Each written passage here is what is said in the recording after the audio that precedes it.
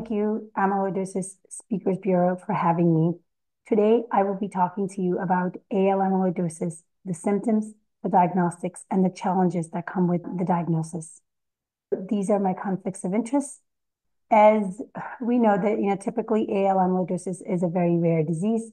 There's about 4,000 cases per year, and it's due to the deposition of the light chains, whether it's kappa or lambda, that form insoluble proteins that can then go on and deposit into the tissues and cause organ damage.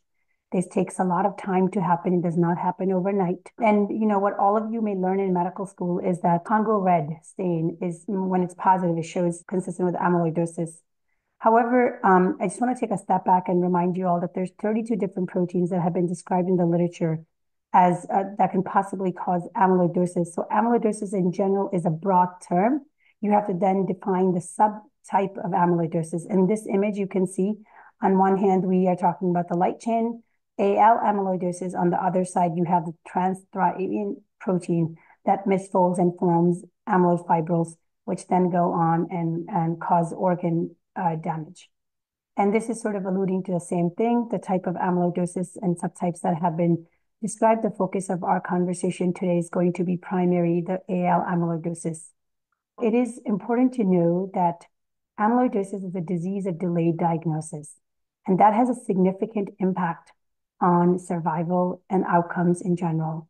That is why you have Amyloidosis Speakers Bureau, organizations such as this, which want to raise awareness and increase awareness and um, and the ability to diagnose patients earlier. Um, you can see from this graph uh, the percentage of patients who were diagnosed with symptoms onset less than six months to uh, uh, to even more than two years. It's often the story in my clinic that I get patients too late in their disease uh, uh symptom uh, by the time their symptoms set on. So um, this is a survey of 533 participants.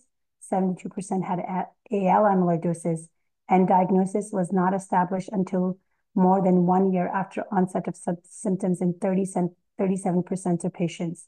And late diagnosis accounts for high proportion, almost 25% of subjects who present with advanced irreversible cardiac damage and die within 12 months of diagnosis.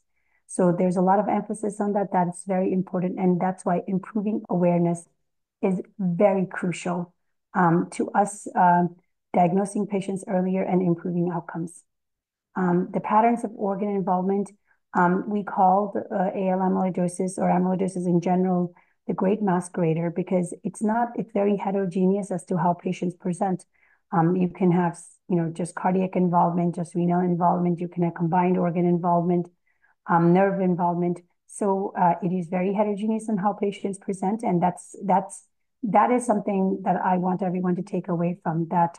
Um, just because uh, everyone's going to be sort of in tune and learning about one way of presentation doesn't mean the patient can, can't manifest, uh, the disease can't manifest in other ways. So it's good to be aware, and you can see from these graphs that there's um, the number of organs involved. Only 35, 34% of the times it's only one organ involved.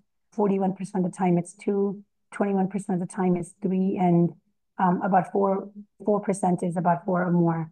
And this sort of, uh, where I'm going to go into the step-by-step -step of this image on the signs and symptoms of amyloidosis and the diagnosis, and then the typing, and then eventually the treatment.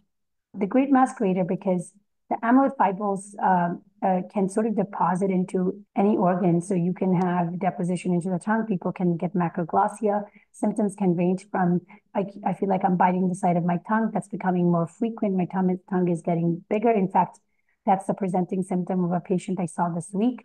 And this can get, this can progress and uh, patients can even have um, you know, the, the tongue can obstruct the airway as well. So it depends on how large it gets and when the patient gets diagnosis.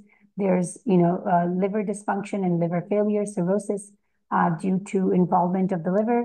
Uh, kidney failure can give you albuminuria, so mostly proteinuria. And patients also describe their urine as foamy.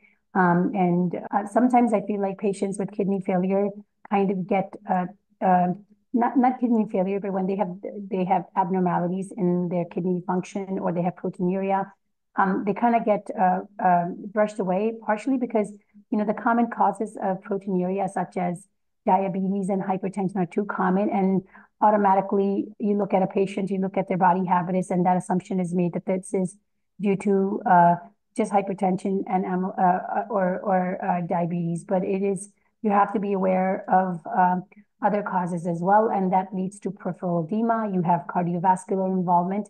There's restrictive cardiomyopathy, and on an MRI, cardiac MRI, you have late gadolinium enhancement. Your ventricle is very big and thick, and so it's stiff, doesn't pump as well. So the manifestations of that uh, and kidney failure is that you can get a retention of fluid, which leads to peripheral edema. Um, there's nerve involvement, autonomic dysfunction, so people can get hypotension, blood pressure tanks. I've had patients who presented so late that they cannot even sit up. Um, I've uh, done evaluations with them laying flat in my um, in my in my office, uh, as well as classically everybody knows about the car carpal tunnel syndrome uh, involvement due to the compressed median nerve. These are several different ways in the disease manifestations, and you can see each patient can can go, some go to the primary care, some go to a kidney doctor. So the presentation is very, very variable. So it's important for us to be all aware, to be aware of this so we can make a timely diagnosis. I want you all to pay attention to the timely diagnosis aspects of this. And then we'll sort of go into the basic workup for AL amyloidosis. The basics are that you get a serum protein electrophoresis and immunofixation. Again, the serum protein electrophoresis tells you the amount of abnormal light chain protein, but the immunofixation tells you the type of it. And nowadays there's a new test which is even more sensitive, and that's the monoclonal protein studies uh, serum, which is basically a mass spec method of evaluating the monoclonal protein you uh, a 24 hour urine protein uh, electrophoresis or a 24 hour total protein is essential to quantify the amount of protein that's uh, being spilled out in the urine essentially uh, immunoglobulins IgA, IgG, IgM standard. Um, just want to make sure, uh, remind everyone that the monoclonal protein study, which is a send out lab, that technically nowadays contains the IgA, IgG, IgM, um, so I sort of, I'm uh, doing more and more of that study versus the SPEP uh, nowadays, but many places may not have access. So SPEP slash immunofixation is the go-to. You have to do the serum free light chains, which is kappa um, free light chain and lambda free light chain. And, uh, you know, many times when I see patients, only part of this workup is done. It is imperative that all of this workup is done. You do the SPEP and immunofixation you get the 24-hour urine, immunoglobulins, and the serum-free light chains. And obviously, the complete metabolic panel to assess for kidney function, to assess for albumin. Patients with AL amyloidosis also have, they have a bleeding, uh, a propensity to bleed, and that's partially due to factor 10 deficiency. So factor 10 is something I get often in my patients. You know, if you suspect liver involvement, alk phos and LFTs, and then if you suspect cardiac involvement, NT-proBNP and cardiac biomarkers when I'm suspecting cardiac disease, I get echocardiogram uh, and EKG as well as a cardiac cardiac MRI.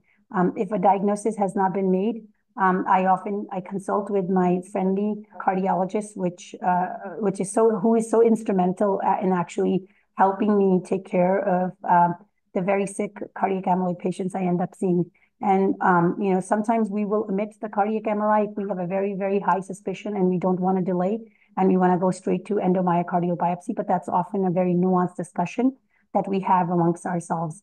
And then obviously you can do all this testing, but the gold standard is tissue biopsy. Tissue is the issue.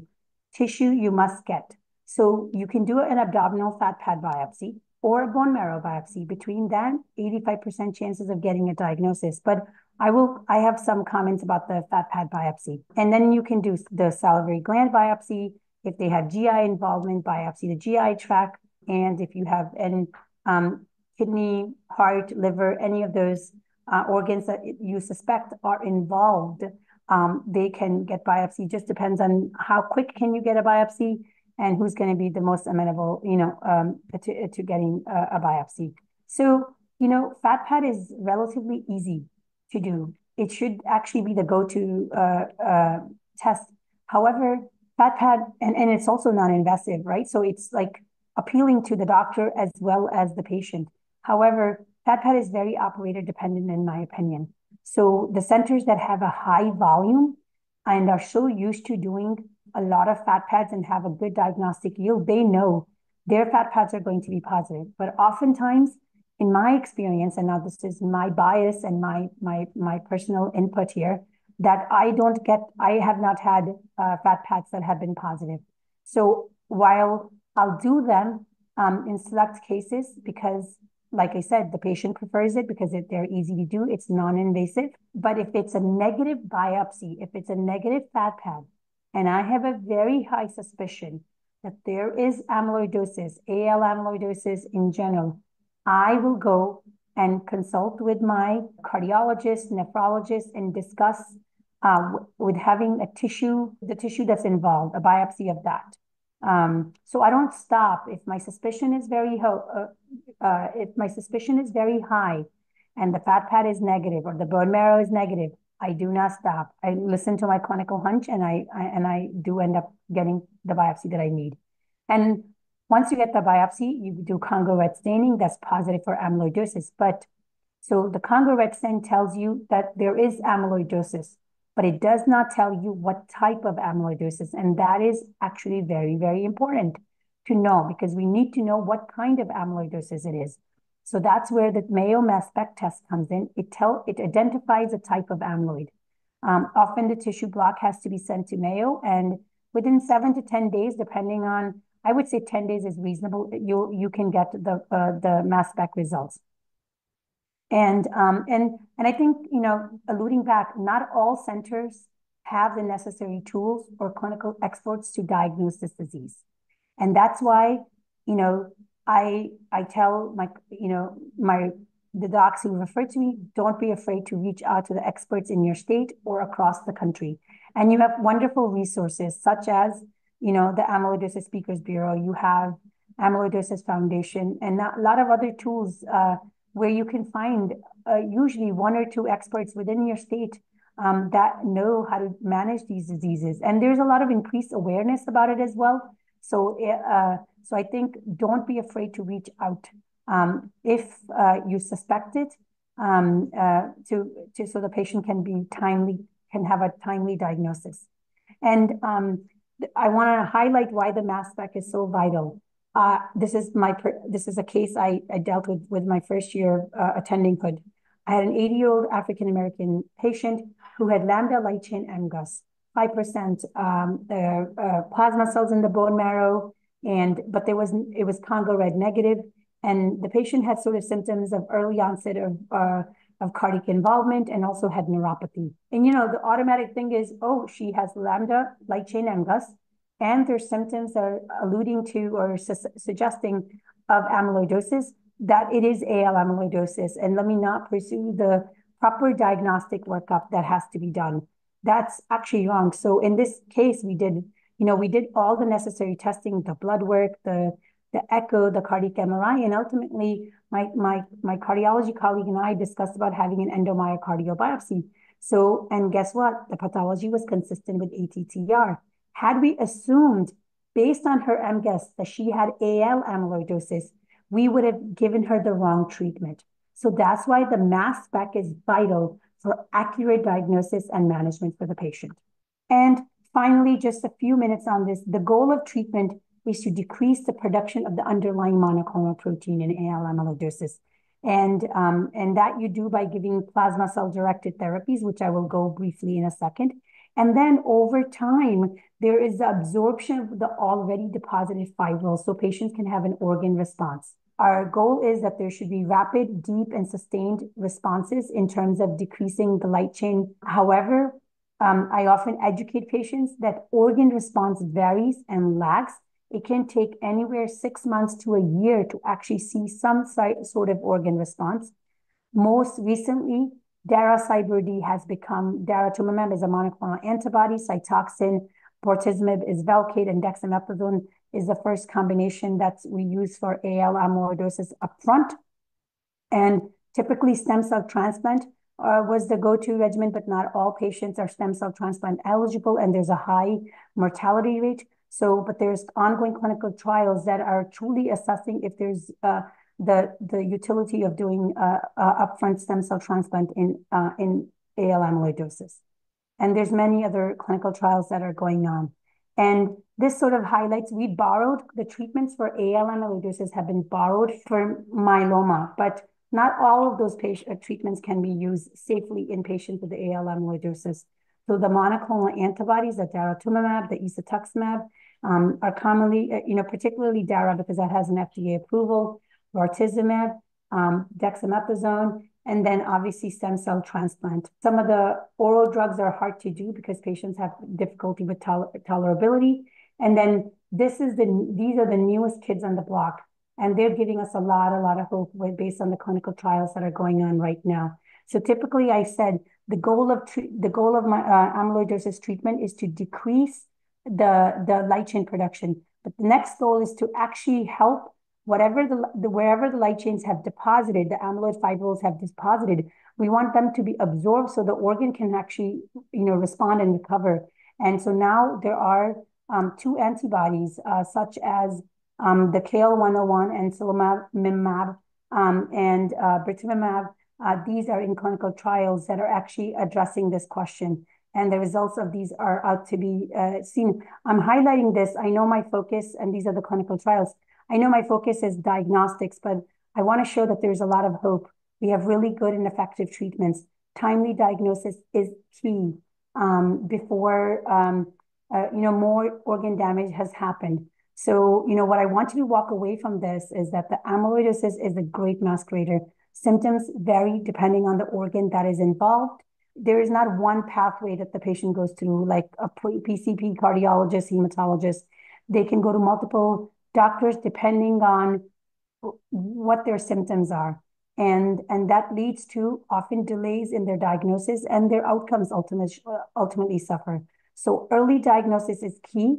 And I want you to take away, take, you know, that's my takeaway message. Early diagnosis is key to good outcomes and improve survivals. And don't dismiss the patient when you can't figure it out. If the dots don't connect and you don't have an answer and there are symptoms that are multiple, then keep searching and reach out to people who actually know the disease and who can help put it together. And I want you to, final thing is this disease is not so rare. It is likely that it's just underdiagnosed. So we want to spread this message. So we empower you with the tools and the diagnostic uh, knowledge um, so amyloidosis can be diagnosed in a timely manner. On that note, thank you so much. And that's it.